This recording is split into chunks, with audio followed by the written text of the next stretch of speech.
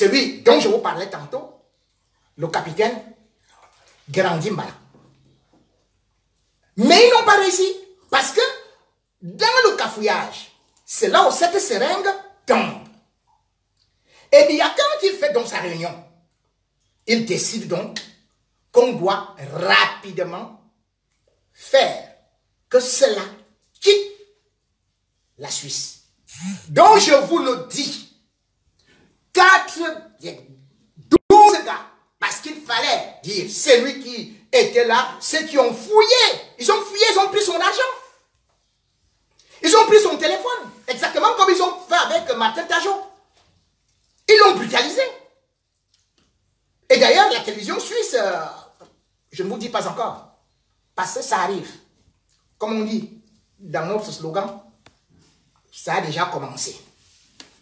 Donc, dans tous les cas, il faut donc savoir que ça, c'est ce qui provoque que cela parte avant même que l'expulsion soit prononcée. Et maintenant, qu'est-ce qui va se passer? Il va se passer beaucoup de choses. Parce que bien normalement, sa réservation finissait aujourd'hui à midi. Il est resté euh, à l'hôtel. Il y a toujours, peut-être au moment où je parle, il est en train de s'enfuir. Parce qu'il cherche à partir. En même temps, il voulait passer par le G20, sachant aussi qu'il devrait aller chez Poutine. Mais il a un autre souci. Le souci de santé. Parce qu'il a voulu tenter la France, mais ça ne peut pas. Pourquoi? Parce que il y a eu un très beau désagrément avec la France. C'était en, euh, en 2009. Il avait rencontré Nicolas Sarkozy. Après l'avoir rencontré, il était allé à la Bolle. Il avait pris tout l'hôtel Hermitage. Hermitage. Et ça avait agacé toutes les populations. D'autant plus qu'on avait découvert qu'il dépensait par jour 900 000 euros. Les télévisions françaises, enfin, c'est le canard enchaîné qui avait publié l'article. Et Bia, et par rapport à la France, a créé un divorce et d'autant plus qu'il ne voudrait pas réellement se faire soigner en France. Donc, il doit se soigner en Suisse. Une injection sur la veine, je ne veux pas parler sur le plan médical parce que je ne suis pas spécialisé, mais toujours est-il que son état de santé nécessite une intervention. Et il avait bel et bien prévu parce que ce n'est pas le seul hôtel qu'il a pris. Et il y a un autre hôtel en Suisse qu'il a pris. Beau rivage. C'est-à-dire que l'hôtel où partait Mobutu. Parce que c'est ça, Biya fait exactement tout ce que Mobutu a fait. Et c'est pour ça que je vous dis, Biya va finir comme Mobutu. C'est simple. Mobutu s'appelait l'homme léopard. Biya s'appelle homme lion. Mobutu avait des problèmes avec les États-Unis avant sa chute et était malade. Paul Biya a des problèmes avec les États-Unis et est malade. Au moment où Mobutu chute, euh, euh, c'est vers les années 96, Sachez que c'est en ce moment que Kabila menaçait avec la rébellion, exactement comme Paul Biya aujourd'hui avec les sécessionnistes. Le parti de Mobutu, c'était la flamme qui était au milieu. Et le parti de Paul Biya, c'est-à-dire le RDPC, regardez bien, on appelle ça le parti des flammes. Exactement, reprenez bien. Et vous allez comprendre. Et pourquoi? Parce que c'est Mobutu qui a formé Bia. Ils avaient d'ailleurs le même marabout, qui était un Sénégalais, lequel euh, était en connexion avec euh, Famandongo, le ministre que vous voyez là. Parce qu'il y a eu des pactes de sang entre Famandongo, Bia, côté, il faut le savoir. Donc, il y a toutes ces choses-là. C'est Mobutu qui a donc montré à Bia ce chemin. C'est Mobutu qui a montré à Bia le chemin de la Suisse pour échapper à ce qu'on appelle le contrôle parce que en Suisse, n'oubliez pas que là-bas, c'est là où tous les dictateurs africains comme Sami et Sami Abacha, Mobutu, ont caché leur argent. Mais sauf que ce qui arrive à Olbia aujourd'hui est arrivé exactement à Mobutu. Mobutu a laissé toute sa fortune et partait s'installer à l'hôtel. En Suisse, des mois, il faisait des cures et tout et tout. Sauf que, il a eu l'infortune que lorsqu'il était déjà contesté, la Suisse ne voulait plus de lui. Et la Suisse a fait de telle sorte que après son opération, on a révoqué son visa. Parce que Mobutu avait un visa de trois ans. Et c'est comme ça qu'on a révoqué. Dominique de Villepin, qui avait été envoyé par Chirac, était venu voir Mobutu, qui avait déjà beaucoup maigri. Parce que Mobutu était aussi tout affaibli. Et qu'est-ce qu'on a fait, les Suisses?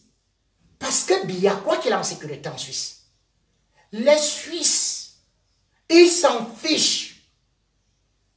Ils ont pris l'argent de Mobutu. Boum, bloqué. Ils ont dit à Mobutu, tu n'entres plus. Et c'est comme ça que Mobutu, sa maison, ses biens ont été saisis. La grande maison qu'il avait a été vendue dernièrement en 2001 par les Suisses à 3 millions d'euros. Le grand château qu'il avait à Savigny, ici en France, dès qu'il est aussi arrivé en France, on savait que c'est la dernière étape. On a aussi bloqué ses biens, on a fait semblant de l'accueillir, mais dès qu'il était déjà dans le déclin, qu'est-ce qu'on a fait de Mobutu? Eh bien, le château de Savigny, qui avait 60 000 mètres carrés de jardin, 700 mètres carrés habitables, 18 millions de francs français à l'époque, que ça a été acheté. Ça a été liquidé de, après Mobutu par la France à 6 millions de francs français. C'est-à-dire que je donne l'équivalent parce que en euros, voilà. Et c'était en 2016, en 2015. Tout ce que Biya a pris comme argent, qu'il est en train d'aller entasser en Suisse, ne lui reviendra pas. Aujourd'hui, l'UDC a saisi le palais euh, royal, le, palais fédéral. L'UDC, c'est quoi? En Suisse L'UDC, c'est à peu près comme vous, entendez en France euh, l'extrême droite, Marine Le Pen. Ils sont très puissants en Suisse. Ils ont dit, parce que c'est eux qui avaient aussi déclenché le départ de Mobutu et la révocation de son visa. Ils ont dit que Biya était devenu très encombrant pour la Confédération helvétique. Ils ont fait une réunion aujourd'hui à Berne. Ils ont demandé au palais fédéral et au ministre de l'Intérieur que Biya devenait nuisible. Et que si jamais la manifestation de samedi qui est en train de s'annoncer là, si cette manifestation a une grande ampleur, plus jamais Biya ne mettra pied là-bas. Et il y a une loi suisse qui a été votée par le Conseil national qui dit, ça a été voté en 2015, sur la saisie des biens illicites. Donc, directement, ils vont saisir ces biens.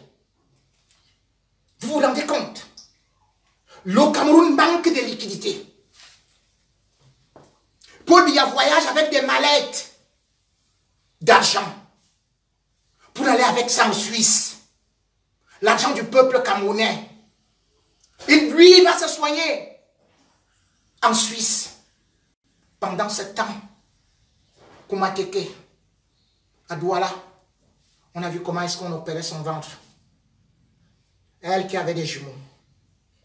Pendant ce temps, vous avez vu une ville comme Yaoundé, plus Douala, qui n'a pas dans des hôpitaux des appareils pour faire l'IRM, pour faire les, examens de, euh, de cardiologie. D'où par exemple le joueur des Lions indomptables, qui est rentré dernièrement d'Égypte, parce qu'à Yaoundé, on a été incapable de lui faire un examen. Et c'est cet homme, 37 ans après, alors que pour Ayidjo, qui à peine était arrivé au pouvoir, a créé l'hôpital central, l'a inauguré avec 1088 lits. Alors que Ayidjo a eu l'affaire de Quintini et tout et tout le reste. Mieux qu'était la coopération chinoise. Le Cameroun n'aurait pas, par exemple, ce que vous appelez hôpital, ou psychiatrique ou général, quelque chose comme ça. C'est les Chinois qui ont fait ça à Bia.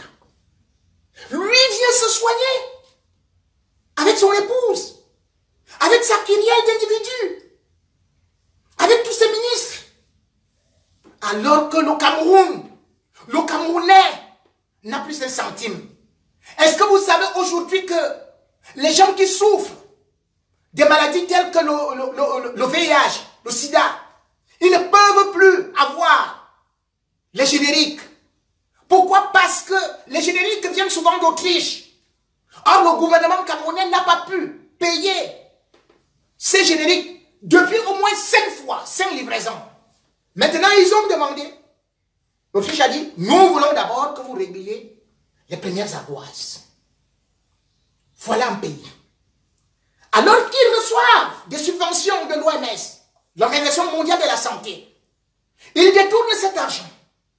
Parce que c'est les pauvres qui doivent mourir, qui ne doivent pas avoir les soins. Quelles sont les missions régaliennes de l'État? La santé, l'école, la protection, donc la sécurité. Ne serait-ce que ça.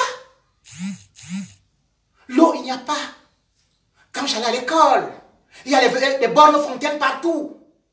En route, à gauche, à droite. L'eau était gratuite. Aujourd'hui, dès que Paul Biya est arrivé, Paul Biya a enlevé toutes les bornes fontaines qui étaient là. Il a privatisé la SNEC que Aïdjou avait créée. Il a offert ça comme ça. il n'y a plus d'eau au Cameroun. Quand était là, les étudiants avaient la bourse, même les sans-papiers, dont on se moque aujourd'hui. Il y avait la maison du Cameroun, non loin de, de c'est-à-dire qu'au 8e arrondissement, là où se trouve le quartier le plus riche, non loin des Champs-Élysées de la France. Tout Camerounais allait là-bas. Il fallait tout simplement prouver que tu es Camerounais. Tu avais ta bourse. C'était 3000 francs français. il y avait les bourses dans toutes les universités du Cameroun, qu'on appelait les psy. Paul lui est venu, non seulement il a arrêté les bourses, mais il a demandé que ce soit les étudiants qui paient la scolarité. Avant l'arrivée de Paul Biya, on avait la CELUCAM et VECAM. Où sont ces sociétés? On avait le FOCAPé. On avait la Maïture. On avait le crédit foncier. On avait tout ce qui pouvait permettre au développement du Cameroun. Où en sommes-nous? Quel bilan pouvons-nous faire pour que quelqu'un dise aujourd'hui que Paul y a le meilleur choix? Alors qu'il a trouvé un pays en paix, un pays en épanouissement, un pays qui avait Kamship, c'est-à-dire qu'on avait les bateaux. Où est Kamship On avait des avions, maintenant il loue des avions. Le Cameroun nourrissait le Gabon, la Guinée équatoriale. Aujourd'hui, le Cameroun exporte l'huile de palme du Gabon. Quel Camerounais peut manger à sa faim s'il ne vole pas? Quel Camerounais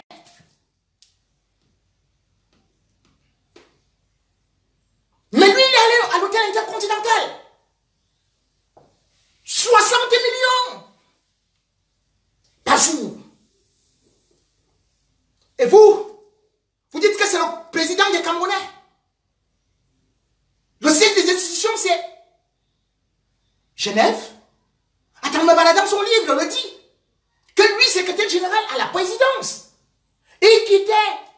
Chaque fois avec les dossiers pour aller voir Bia à l'hôtel intercontinental de Genève.